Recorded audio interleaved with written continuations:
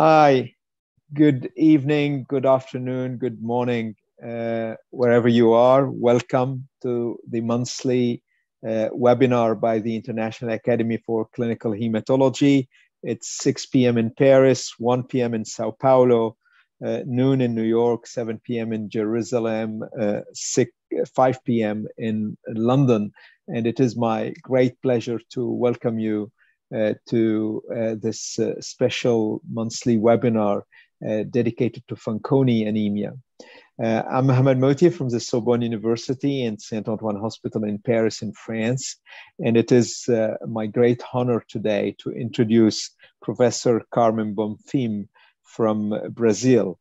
Uh, she, is, she is the head of the pediatric of uh, blood and marrow transplantation program at Hospital uh, Pequeno Principe. I hope I'm pronouncing well. She's also professor at the Pele Pequeno Principe Research Institute and at the Federal University of Parana in Curitiba, Parana, Brazil.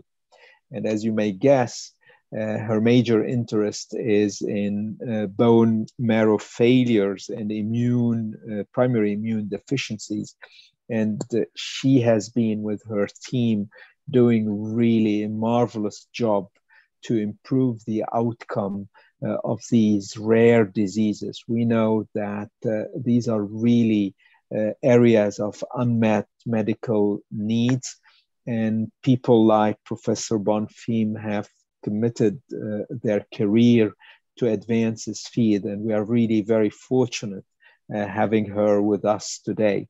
So, of course, as usual, please don't hesitate to post your questions and comments. We will have a few minutes for discussion at the end of the webinar. But for the time being, I'd like to hand the podium and the microphone to you, Carmem, and welcome to this IACH webinar. The floor is yours. Thank you. Thank you, Mohammed. And thank you also, Annalisa, for inviting me to present this data on Fanconi anemia. This is a very, very uh, special subject to me. And I would like to start by saying that I have no disclosures related to this presentation. And also, uh, this is the most important slide that I want to share with all of you. We did the first BM, uh, trans, uh, bone marrow transplant in Latin America here in Curitiba in 1979 and the first transplant for Fanconi anemia in 1983. So we had all these decades of involvement treating this disease. But Fanconi anemia is a rare disease, and without national and international collaboration, we cannot improve patient care and clinical research. And this slide shows only the collaborators we, we had regarding stem cell transplantation, because we had a lot more for diagnosis and also a lot of other collaborators regarding the long-term follow-up. So keep this slide in mind because this is very, very important. So this is the outline of the lecture today. We will talk about, I would like to show you what we did regarding matched related transplant, because this was the first step for us. And then we proceed to unrelated transplant and just very recently, we started to do the haplo uh, approach. And of course, we need also to think about the long-term follow-up regarding all these kinds of, uh, of transplant. So let's begin by with the, the the definition of Fanconi anemia, because this is a rare disease characterized by genomic instability. Most patients have progressive bone marrow failure, congenital abnormalities, and this is striking predisposition to, my, to the development of myelodysplastic syndrome, acute myeloid leukemia, and especially head and neck squamous cell carcinoma. Although most of the patients are diagnosed around the age of four to five, six years old, we are now seeing more and more patients. And nowadays, 20% of our patients are adult uh, with FA. So it's exactly this genomic instability that leads to uh, this impaired DNA repair and, and, uh, and leads also to increased chemo and radiation toxicity. And this makes a challenge to do transplant for these patients, especially because transplantation is the only treatment able to cure the hematological complications related to this disease. And it's usually indicated before the onset of chronic transfusions or of course clonal evolution. However, uh, although transplantation can cure the hematological complication, it does not cure the other manifestations of the disease. And also because of the genomic instability, transplant strategies need to be, needs to be modified. And also we need to always to screen potential family donors. Results are excellent worldwide when you have young patients transplanted in a plastic phase from matched related or matched unrelated donors. This is a piece of cake. The problem now lies in adult patients, transplanting adult patients, transplanting patients with advanced disease, those with mismatched donors, and also the prevention and early detection and treatment of cancer. Also, Fanconi is a very challenging disease to manage, not only because of all this uh, genomic instability and also the challenges relate, related to transplantation, but when you put these all together in a developing country, you can see that your patients may come from very low socioeconomic back, background, and you have to add to the burden of the disease.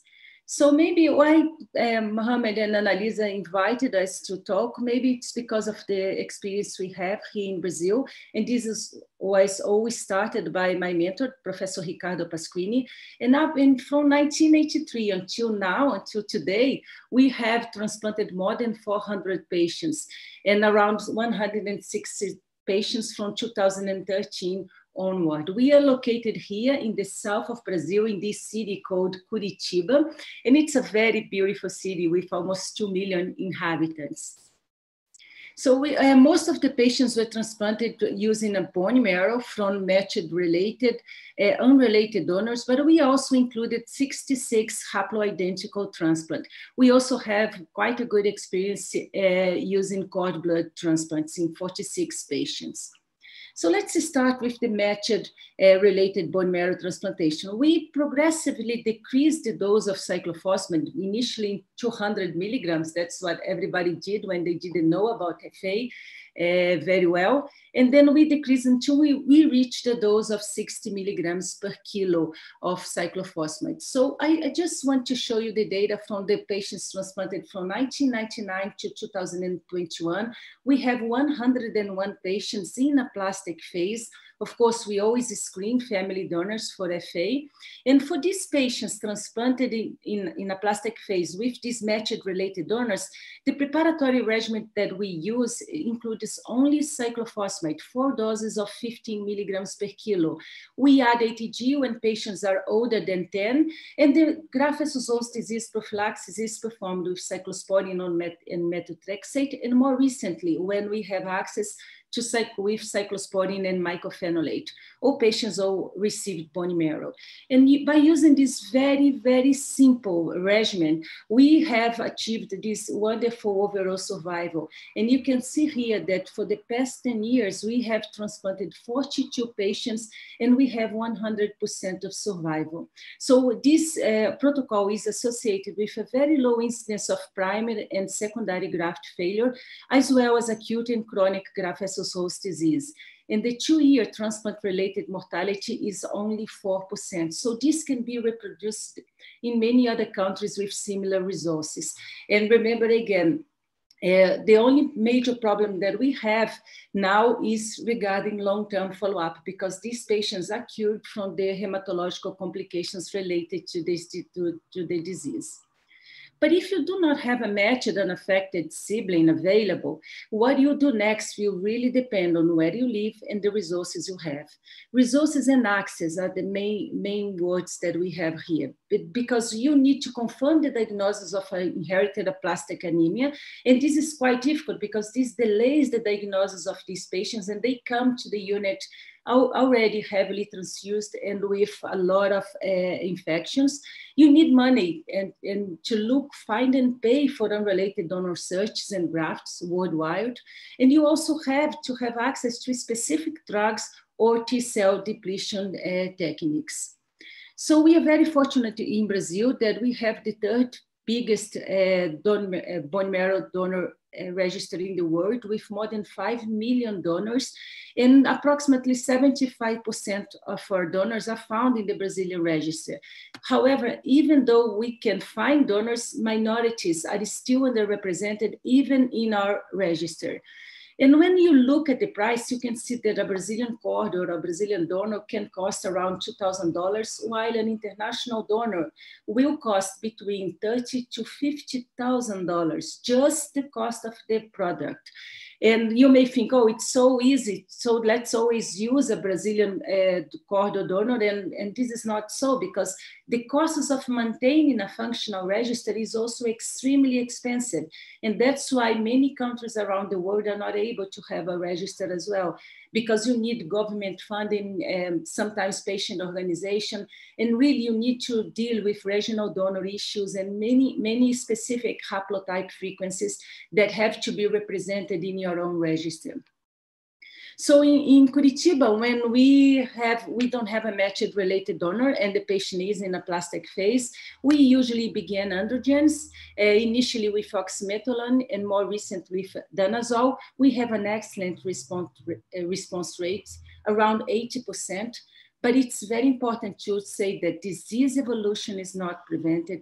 Patients may be older when they need a transplant, and virilization and liver toxicity are important side effects. So the only thing you can buy here is time to find a better donor for your patients. So if our patients develop, uh, they are in a plastic phase and we find a matched unrelated donor, and we can do here high resolution typing for A, B, C, D, R, D, Q, and, NDP.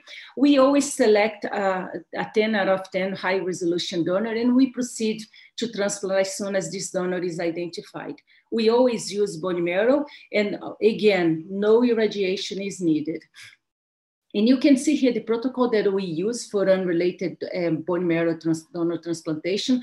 Again, look again at the dose, 60 milligrams per kilo of cyclophosphamide together with fludarabine. Fludarabine is essential when you are you, you doing unrelated donor transplant. And this was a major, uh, major improvement in transplantation when we, when we found that fludarabine would improve engraftment. We also give ATG, followed by bone, bone marrow trans, uh, transplantation and cyclosporin and methotrexate. It's important to say that the dose of methotrexate is the same as the conventional uh, dose. There is no reduction in the dose of this, trans, uh, this drug. So I just selected here patients transplanted a little bit more recent from 2003 to 2021, not only because of supportive care, but also because of uh, because of HLA typing. And when we selected this donor, the majority were 10 out of 10 uh, fully matched and give exactly this protocol that we, we, I showed you, we have an overall survival of around uh, 8%. It's not, when we compare the last 10 years for matched related, that we have 100% with matched uh, unrelated, still we can see a significant difference in overall survival. And this happens not because of graft failure. Graft failure is very not common in this protocol, but mainly because of infections and infections related to the developing countries like dengue, Zika virus, toxoplasmosis. That's how you may uh, lose these patients. There is a very low incidence of acute and chronic graft versus host disease too. So you see this, the, the, the, this overall survival of around 8%, but when we had, during the same period, we could not find these beautiful matched unrelated donors what we had in our hands, unrelated cord blood. And when I just looked at the data from 2000 to 2011 and uh, regarding unrelated cord blood transplantation, you can see here that 82% of the patients had either a five out of six or four out of six uh, uh, cord blood mismatches. We did not have any problems regarding the, uh, the median number of nucleated cell infused. They are usually small patients. The preparatory regimen was the same as I, I showed you before with cyclophosphamide, fludarabine, and ATG. But look at what happened to the survival. So while we were having 30, 70%, 80% of survival with the unrelated donor uh, uh, transplantation, when we used cord bloods, we reached only a 36 overall survival. And this happened mainly because of uh, early deaths and graft rejection. So it was exactly in this scenario where we had this very bad overall survival. We lacked in vitro T cell depletion. We had a long time and the costs related to search and graft acquisition that that's the scenario where we decided to uh, use the haploidentical transplant. And remember that this may be the only option, not only because of ethnic minorities, but also because of the costs and logistics of finding an unrelated donor that is unavailable for many countries around the world. So for the rest of my talk, I would like to, to uh, discuss about the, how we adapt the haplo uh, approach to the treatment of patients with FA. So you have the scenario, now, what was happening regarding the survival uh, for unrelated cord blood. And then that's when the group from Seattle, and these are my friends here, Rainer and Hans-Peter and, and Monica, they came to us and, and they, they said, well, well, no, we, we have this haplo PTCy protocol that has been uh, published. You, you are so used of, uh, of using this dose of 60 milligrams per kilo of cyclophosphamide, as I showed you before. So let's try to adapt this regimen to FA patient. So this is what we did in the beginning. We decreased the dose of pre-transplant cyclophosphamide to 10 milligrams per kilo we decreased the dose of post-transplant cyclophosphamide to 50 milligrams per kilo, and we kept the whole uh, the other uh, uh, drugs like fludarabine, TBI, uh, cyclosporin, mycophenolate, and, and, and GCSF for these patients. So based on this was the beginning, and from 2008 when we started this protocol up until 2020, we uh, we performed 63 uh, uh, we transplanted 63 patients, 66 transplants, all received bone marrow from haploidentical donors. The, this uh, this uh, group received the first haplo in 59 patients, but we also used this protocol to rescue patients, four patients that had failed to engraft uh, after other transplants. We included patients, most patients with aplastic anemia, but also patients with myelodysplastic syndrome and acute myeloid leukemia. So this, the, remember the main changes that we did, did, to the reduced intensity protocol from John Hopkins. So we transplanted 14 patients using this uh, approach. And we had here patients more heavily transfused, 100% were CMV positive. We also include for three patients with uh, uh, active acute myeloid leukemia. In the beginning, we chose the mother because we thought that this was the best thing. And we also included patients with donor-specific antibodies but we had a lot of graft-versus-host disease. It was so intense that we stopped the protocol for approximately two years until we decided that we had to do something to decrease the incidence of uh, graft-versus-host disease. So that's when in 2013, we added ATG to the protocol and we kept the whole, the, the other uh, drugs in the same way. We also saw that because of this very intense gastrointestinal toxicity with a lot of uh, mucositis and diarrhea, oral uh, mycophenolate was not well observed. And that's when we decided to have uh, IV mycophenolate. And remember that this is not a drug available uh, in Brazil for the public health system patients. So we had a lot of help regarding the, the, the German Fanconi anemia family group to provide this drug for us in the beginning. But the, uh, because we still wanted to decrease the incidence of acute and chronic graft-versus-host disease, in 2019, we changed ATG for CAMPATH. And we did that because of the results that the British and the Italian group were publishing regarding the use of CAMPATH in aplastic anemia and even in Fanconi anemia, and that they were observing less graft-versus-host disease. So this is the, the, uh, the demographics of this cohort. We have now patients that have received less transfusions and most of them are still CMV positive. We also included uh, 80 patients with advanced disease. We began to choose more the father and also uh, trying to avoid the female donor to male recipient. And we also had three patients that had uh, donor specific uh, antibodies. So these are the major transplant outcomes after the haplo uh, PTCy approach. You can see here in the first column that the patients without uh, serotherapy had uh, a lot of incidence of uh, CMV reactivation as well as hemorrhagic cystitis, but this was common for the, for the, for the three groups. And most of the deaths uh, in the non-serotherapy group were, were caused by graft-versus-host disease. When we added ATG, we had we had three three patients that faced rejection, but this was kind of difficult because we wanted to decrease the dose of TBI, and in this group we also tried to reduce the dose of TBI from 200 to 100 centigrays, and we faced one rejection, so we backed up, uh, backed again, to the 200 centigrays proto, uh, uh, regimen. These patients that had graft failure did not have, they were not heavily transfused and they did not have donor specific antibodies. As you can see here, most of the deaths were also caused by graft versus host disease. And for the alemtuzumab group, we have had no deaths up until, up until now. And this, as you can see also, CMV reactivation ranged from 70 to 90%, as well as a lot of hemorrhagic cystitis, something that we did not observe in the, when we, we used to do the, when we did the matched related and the matched unrelated transplant. 11 out of the 12 patients older than 16 and eight out of the 11 patients with advanced disease are also alive and alive and grafted. And if you, we can discuss this further during the Q&A uh, session.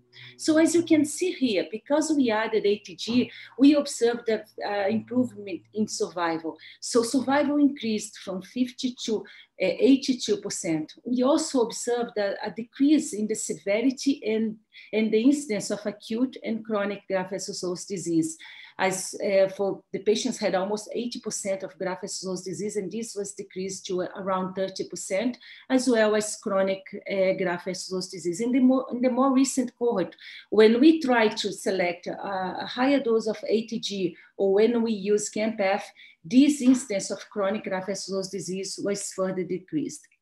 The, the use of this protocol for, to salvage patients that had failed to engraft was also very good.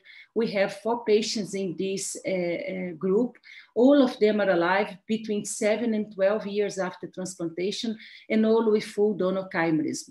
We also had three patients who received the first haplo and faced graft rejection, the, the ones in the ATG group, as you, as you may remember none of these patients had any feature that we would think that they could have graft, uh, developed graft failure all received a second haploid with a different family donors, donor and all died. So this is just to show you what happened to uh, after we began to do the, the haplo transplant. So everything started here in 2008. You can see dark blue, the haplos, the light blue, the unrelated, and the in yellow, the matched related transplant. And you can see here that in 2009 and 2011 were the last time we did an unrelated cord blood transplant for our patient.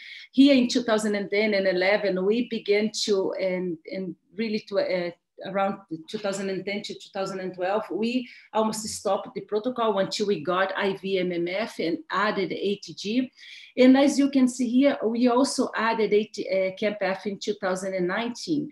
We had a, long, a very a lot of problems during the COVID pa pandemic, also because we, we did not have IV MMF. And again, the German Fanconi anemia uh, family group provided us with a donation of IV MMF, and we were able to do just this year 15 transplants for FA and this is also we we begin to do again a lot of transplants a year and just to show you very quickly i presented this data uh, during the ebmt in prague and when we try to compare the unrelated cord blood group that i have shown you the, the demographics with the haplo PTCy but only including the patients with serotherapy you can see that despite the fact the fact that the unrelated cord blood patients were transplanted until 2011 and we have a more recent regarding uh, supportive care for the haplogroup.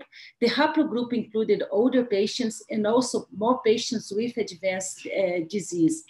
And you can see here that uh, the day 100 CMV reactivation was much higher when we used the haplo uh, uh, protocol compared with the cord blood, as well as hemorrhagic cystitis. It was 55% for the haplo group compared to only 9% for the cord blood group. And we did not see any difference regarding acute graft-versus-host disease, but you can see also here that for the chronic graft-versus-host disease, we had a significantly higher incidence of, the, of uh, chronic graft-versus-host disease when compared to unrelated cord blood. Also, when compared to the unrelated cord blood cohort, the haplos uh, PTCy serotherapy platform had a much lower day 100 rejection rate, and this was from 6% compared to 31%.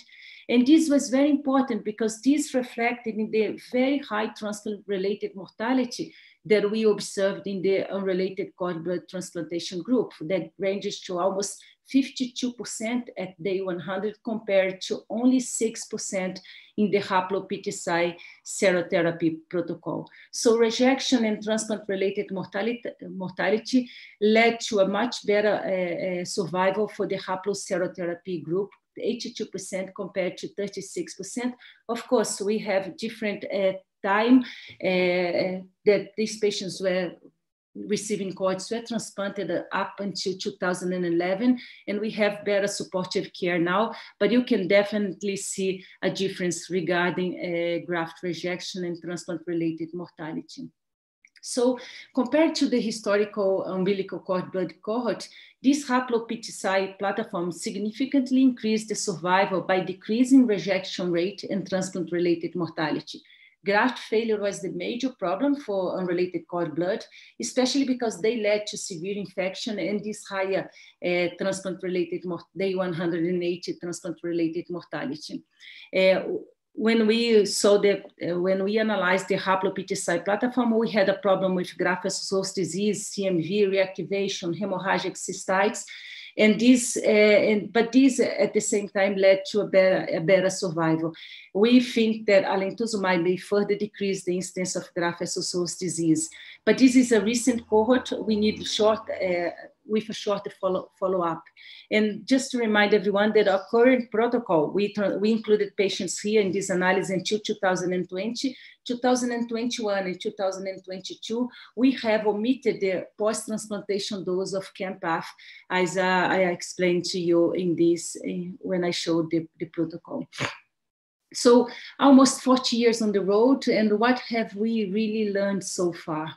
For matched related and, and matched uh, uh unrelated bone marrow transplantation we, we can see that there is a type of FA patients that are transplanted in low resources countries. And may, many people that may be watching uh, this presentation now may identify because they have, uh, because they identify their patients, because they have a delayed diagnosis. These patients, they come to the unit highly transfused, infected with multi-resistant bacteria and fungal.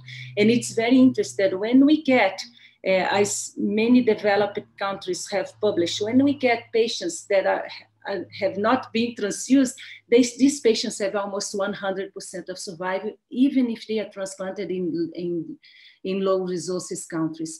We also know that better results, results are achieved when these patients are transfused before transfusions, severe infections, or even development of uh, clonal uh, evolution.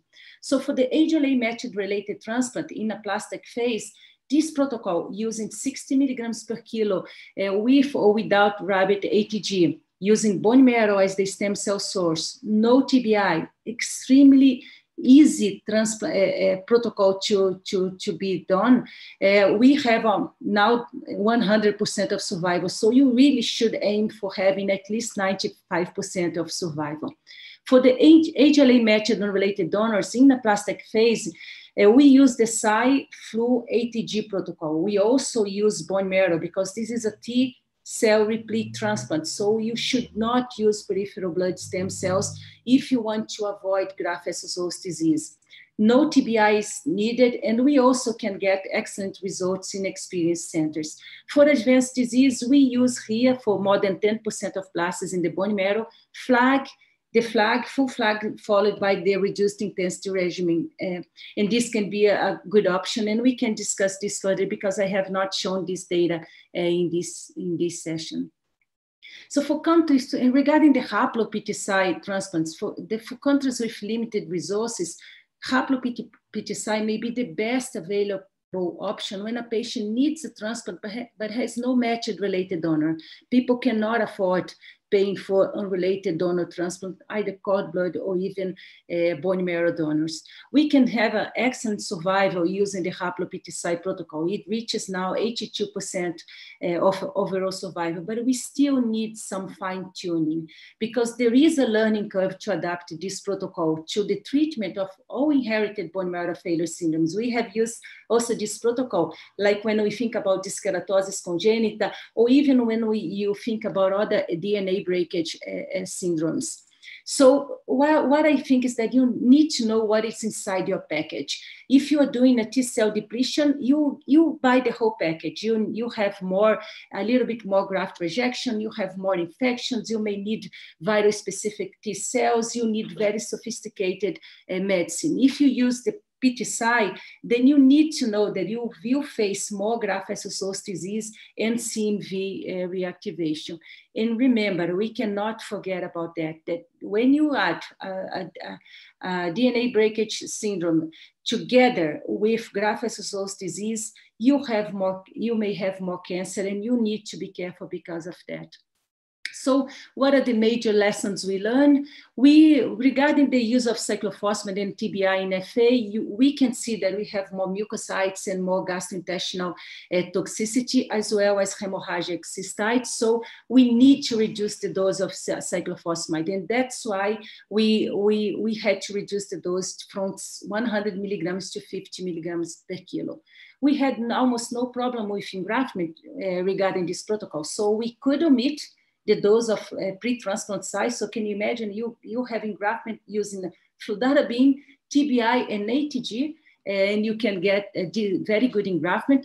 We also cannot decrease the dose of TBI from 200 to 100 and even to uh, take out TBI as we would love to do because TBI is needed when using this platform. Maybe by using a different platform, we may uh, try to uh, take out uh, TBI we have more uh, CMV reactivation, we have more hemorrhagic cystitis with BK.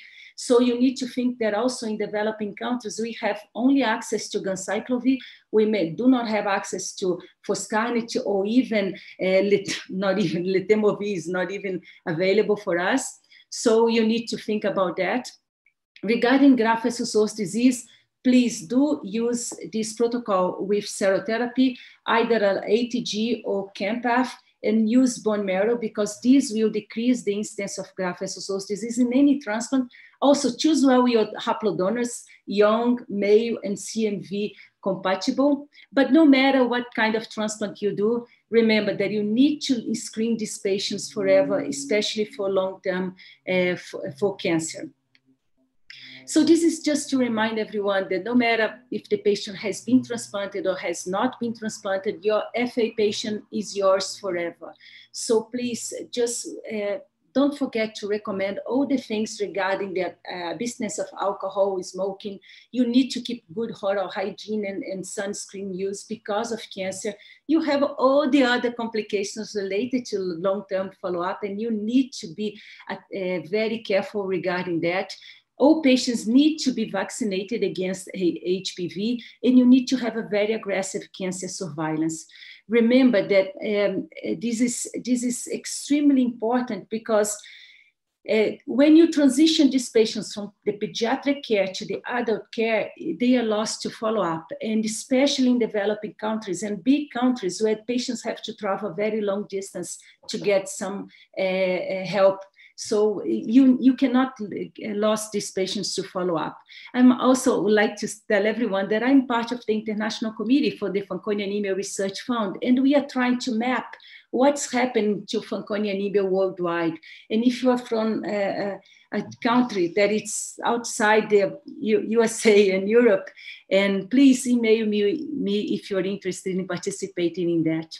So are we making any progress? And what's my point of view? Still, we have a lot of global inequalities, even within the same countries. We, may, we have many Brazils within the same Brazil. So we need to understand that access is the major problem for most of the patients. Access to diagnosis, access to good, uh, to quality uh, blood transfusion also. And the only thing, the only solution that we can have to this is when we educate educate patients and also the, the, the medical community, as well as we collaborate nationally and internationally. Countries with similar resources should really get together and design treatment guidelines that are, are adapted to the geographical regions and that can be affordable and cost effective so that we can have sustainable programs. We cannot read about alpha beta T cell depletion. It's an amazing procedure, but it will not be available in the next years in most countries around the world. So regarding treatments, androgens can buy you time. So it's a good option if you do not have uh, transplantation programs. If you have transplantation programs, I really advise you to that these these simple protocols that we have been using with a lot of experience are, are related to a very good uh, survival. And we need to organize this task task force to improve outcomes at least for matched related donors. And this is related to diagnosis HLA typing and infections. Don't forget about the long-term follow-up transition of care because you need the patient to get older and you need time after transplant to detect any complications. So every time you see very short follow-up, remember that this does not work for FA patient. And with that, I would like to thank again all my team. I'm just here in front of you, but I, I am nothing without everybody that has helped uh, to, to develop treatment for this disease. And this includes not only patients not only uh, the group from Curitiba, Brazil, but all the Brazilian uh, groups that are also participating in the protocol, all our international collaborators, the international and national societies, our patients and families. And I'd like to thank you all for listening to this presentation, and I hope that we have time to, for some questions. Thank you very much, uh, Professor Bonfim, for really amazing overview and work and congratulations for these uh, uh, achievement. Uh, not only the fantastic Lancet Hematology paper, Impact Factor 30, now released a few days ago, but also, and this is the most important at the end of the day, all uh, the uh, outcome, the improvement of outcome you're providing to these patients with rare diseases. Actually, we, we, we have a lot of questions, so I'll try to structure them. Uh, we have a question uh, about uh, desensitization uh, uh, from Dr. Hernandez and many others. So you mentioned this. What is your protocol for desensitization? So when when it's also very difficult because rituximab is quite an expensive drug as well as plasmapheresis. But what we do is uh, we do a dose of rituximab two weeks before transplant, and then we do plasmapheresis as well. And then we do IVIG uh, immunoglobulin uh, infusion on day minus one. We have a very, very good uh, HLA lab, and one of the, uh, the, the biologists that is in my thank you slide is, is Alberto Lima, who is the head of the HLA immunogenetic labs. And we can do a very, very good, just like in the developed countries, the HLA to, the, to look for donor specific antibodies. But with that, the five patients that we had with donor specific antibodies, they were all desensitized. And then we follow on day plus seven, plus 15, uh, regarding the donor specific antibodies to see if we have like a relapse but all of them engrafted and we had no problem, not, not even with the late platelet engraftment, because we have these for the, when they do the haplos for aplastic and acquired aplastic anemia, we have some kind of delayed platelet engraftment when you have donor specific antibodies, but not for the FA patients. So very simple, no, no, not, not many sophisticated drugs as well. Thank you very much. Very clear answer. Uh, we have a few questions about the toxicities of your regimen, especially the use of post-Cy. For instance, Dr. Anant Prakash is asking about are there any specific toxicities you're seeing in Fanconi, for instance, hemorrhagic cystitis or BK virus reactivation? Yeah, absolutely. So, I mean, the, the, the the dream world would be to avoid alkylators and avoid TBI in any uh, DNA breakage syndrome, any they, they do not like alkylators and they do not like TBI. But the problem is we cannot find another regimen. And we even tried to use a busulfan base for, for one patient that could not tolerate TBI. And we had also a, a lot of complications and we were not able to achieve good engraftment. So for the, the cyclophosphamide, I think that it's, it's quite different because when we use the same dose, come on, Mohammed, it's the same dose that we have been using forever the 60 milligrams per kilo. And we did not see the amount of hemorrhagic cystite and even the amount of CMV reactivation. So this has also to do with the haplo-PTCy platform, and this is uh, this is more common in any kind of transplant, and it's more seen in FA because of the genomic instability. So you, you will see everything a little bit more than what you see in the other haplos. You see more gastrointestinal toxicity, and this is very important. That, that's why you need to use IV mycophenolate. At least you should really try to do that, because if not, the graft versus host disease prophylaxis is not good enough. And you may have a lot of graft-versus-host disease because you are not using good immune suppression. You can you have more hemorrhagic cystites, but as I shown, uh, it's all of them were related to BK virus. So we don't know exactly what happened uh, regarding uh, hemorrhagic cystites, if it's really related to cyclophosphamide or just because of the BK virus. And also, I think that it's the conjunction of cyclophosphamide, 60 milligrams per kilo, and now we have used 50 milligrams per kilo total dose because we exclude the 10 milligrams per kilo before transplant. And it's the cyclophosphamide plus the TBI. And I think it's the timing of the post-transplantation cyclophosphamide that usually the peak of toxicity is around seven to 10 days after the last dose of, of cyclophosphamide post-transplant Cy. And this was usually when the, you had the full engraftment. So that's why we also took off uh, GCSF because we, you ha we had a very fast engraftment with a lot of uh, the, the toxicity. So we, uh, I think that it's related to cyclophosphamide TBI, and also by taking out the uh, GCSF, and this is also important. That thank you for this question because we do not use GCSF for any patient for the past almost 25 patients. And with that, we have a more slow uh, engraftment, and this helps to decrease this, this inflammatory reaction that these patients may have. Excellent. Thank you very much. We have a few questions about the dosage of post-Cy.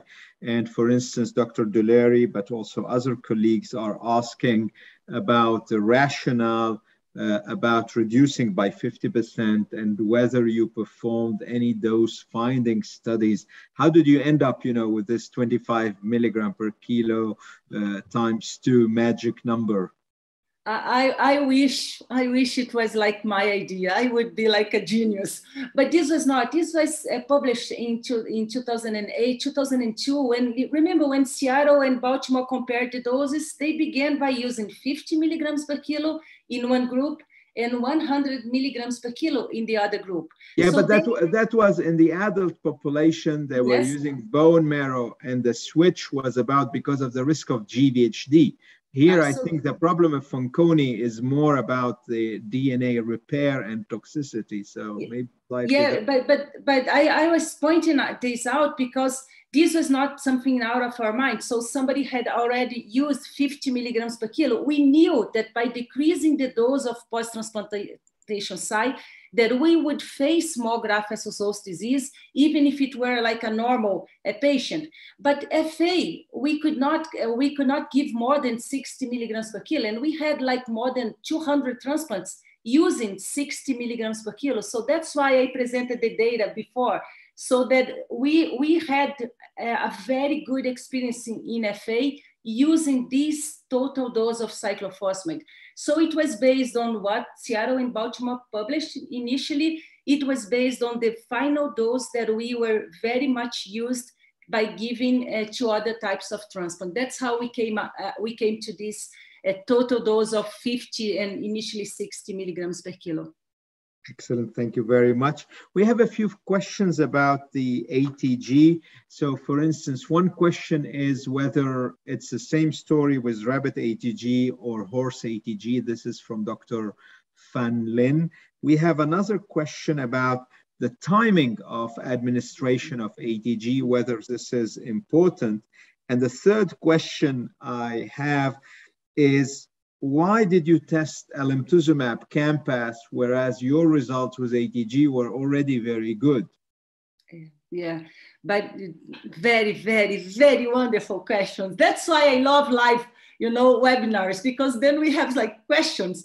And I, am I'm just uh, translating, you know, the questions for you uh, because Fanconi anemia is not my cup of tea. You know, all I know so, about Fanconi anemia that we owe it to Dr. Guido Fanconi. For those who don't know, where Fanconi comes from. This is a Swiss pediatrician who really uh, did a great Absolutely. job describing uh, these patients.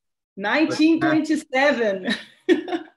so, so first question, horse and, and rabbit ATG we have we have no access to horse ATG, so for us this was a very uh, easy uh, answer. But also remember that when uh, Joe Antin published the, the data regarding the use of rabbit compared rabbit to horse ATG for patients with aplastic anemia, uh, he saw that this was a CIBMTR data that we had less graft-versus-host disease as well. So we always liked rabbit uh, ATG and we have no access to horse. So I don't know what would happen if we had to use horse ATG.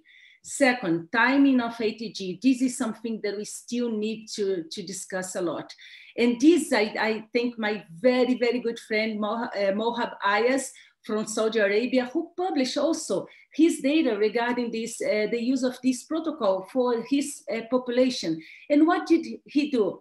He increased the dose of uh, uh, rabbit ATG, but he used a higher dose and more close to bone marrow infusion. In the beginning, we were a little bit afraid of pushing too much close to the bone marrow infusion because we thought that it, this could lead to mixed chim chimerism. But uh, Mouhab Ayas did that. He in, in, uh, increased the dose of, of ATG and moved it around day minus three, minus four, and minus five and by doing that, and by also increasing the, uh, prolonging the, the use of uh, mycophenolate after transplant, he had an even uh, lower incidence of graft-versus-host disease. So my suggestion, to suggestion would be, I am using Campath. I'm very uh, happy with Campath now. But if you do not have access to Campath, and if you are going to use ATG, it's better to use a dose close at least to 7.5 milligrams per kilo and a little bit closer to transplant, not give it minus eight, minus nine, minus eight, and minus seven, but just push it a little bit closer to bone marrow infusion so that you can have, uh, during the period of engraftment, you still have ATG in circulation. And the last one, why I, I use Campath you know, because when we compared the data, and I didn't have time to show exactly the data regarding uh, the instance of chronic graft-versus-host disease, when we compared the data uh, from uh, rabbit ATG and Campath, we could also see that by when we increased the dose from five milligrams to 7.5 milligrams per kilo of ATG, and or when we gave uh, Campath, we had that, like this instance of chronic graft-versus-host disease around 22%. So this is like, this was much better. And also the severity of graft-versus-host disease was better. But we paid the price because we decided to add this post-transplantation Campath dose. I, always, people always ask me why we did that. And this is also a very, very nice story. But we, as we did that, we had this prolonged CMV infection. Mohammed, you cannot imagine, like six months of CMV and for us. So we have this problem with Campath, but at the same time, we have we do not have uh, this severe graft-versus-host disease anymore that we also observed using rabbit ATG. Excellent. Okay, we, we have a question here about the timing of post-Cy. This is from Dr. Carlos Vallejo in Spain. Hello, Carlos, and thank you for following uh, the ICH activities. And Carlos is asking about the timing of post-Cy, uh, whether three plus four as you did, and this is the usual Hopkins approach, or whether the three plus five, which was advertised by Dr. Bacigalupo, do you see any role for, for, for this in your practice here in this specific situation of Fanconi anemia? So uh, thank you again for the, the questions. You know, people are really, really into the. the it is amazing, the, you know, the number of questions we're receiving, and I can tell you, I'm summarizing and shortening them. You know, because because you know, uh, I, for those who want to read more of, of what we publish, we have in the Lancet paper we have explained that a couple of patients, around 14 patients, we tried to do uh, Andrea Bacigalupo's protocol. Andrea has always helped me so much, and I discussed so many times also with Andrea about these, these patients. We tried to give uh, uh, post-transplantation cyclophosphamide day plus three and day plus five, as well as we began cyclosporine and mycophenolate for this small group of patients around day zero and day minus plus one. And what we saw, Carlos, is that we, we had more graft-versus-host disease. So I don't know if we had like, we did not have enough patients or if we were a little bit afraid of what happened because uh, something that we I didn't also didn't show is that we had a couple of patients that received mismatched, unrelated uh, transplants for Fanconi using this protocol. And it was exactly in this group that we used this, uh, the Bacigalupo's uh, approach. And we had more graft-versus disease and the survival was not good. So for the, for, we were a little bit afraid and we backed off and came back again to the plus three, plus four, and beginning cyclosporine and mycophenolate on day plus five without uh, GCSF for these patients. But there is, there is a lot of room to, to, to improve regarding that because it's a rare disease and it's still 60, 70 patients, it's still a small number. And from 2021 to 2022, we have seven more patients. So uh, they are very, very early to follow up. So it's very difficult to include them in any analysis, but we will see as well what's happening to with, um, with bigger numbers. We need numbers, even though it's a rare disease, we need numbers to make any conclusion. I always find very funny when people uh, publish about uh, like rare diseases using like very small numbers and making like some really wonderful conclusions. We are still, we, we cannot conclude many things. It's just it's still a lot of observational studies, and that's why we need to get together and do the same protocol. Okay, we'll take one last question because time is uh, running, and the concept about the webinars is just to keep them, you know, within the uh, 40, 45 minutes because uh, this is the end of a busy day for many people or still a working day. So in the patient you transplanted with Fanconi, uh, we know this is a risk factor for AML, MDS. Do you have patient in this series who were already showing signs of uh, malignant transformation? Yes, we. Uh, uh I showed in the the 63, uh, 66 patients that we, we we transplanted. We had approximately 11 patients that have myelodysplastic syndrome or acute myeloid leukemia. We transplanted patients with 50% of blasts in the bone marrow, and we have. And this patient, for example, is alive and well almost four years after transplantation now. So this is a good without the flag regimen. When we use the flag regimen in two patients followed by the haplo-PTCy protocol, we had more toxicity. And, and so uh, it depends uh, on what uh, the amount of blasts that you have in the bone marrow, because it's very smoldering the, the leukemia in the, in the FA patients. They can stay with like 10% or, or even like 5 6% of blasts for many, many months without progressing to uh, very uh, uh advanced AML. But we have these, and out of these 11 patients, we have eight patients that are alive and well with a median follow-up of approximately four years uh, regarding this, this, this, this, approach. So it can be used and it, it is successful for, for this group. It's still not so successful as if you are in aplastic phase, but in aplastic phase, even in Brazil, you have like a very, very good survival well, thank you very much, Carmem, for sharing all of these wonderful data with us, but especially sharing your passion and your dedication uh, to your patient. And I think your work has been extremely useful, not only in Brazil, but also across the globe, because obviously, uh, as you nicely uh, mentioned, uh, uh when it comes to treating these very rare uh, genetic disorders or diseases, we need to collaborate. Nobody will see alone hundreds of these patients. And we owe a lot for the people who dedicated their career uh, and uh, committed to uh, take care of these patients. I think this webinar has to come to its end. I hope you have enjoyed it. It was really, really amazing. I personally learned a lot. And again, congratulations for all of these achievements. And uh, as I always conclude, wherever you are, thank you for attending and please stay safe and keep well. Take care. Thank you, everybody. And please send me an email if you have any questions. Big hug and a big kiss to all of you.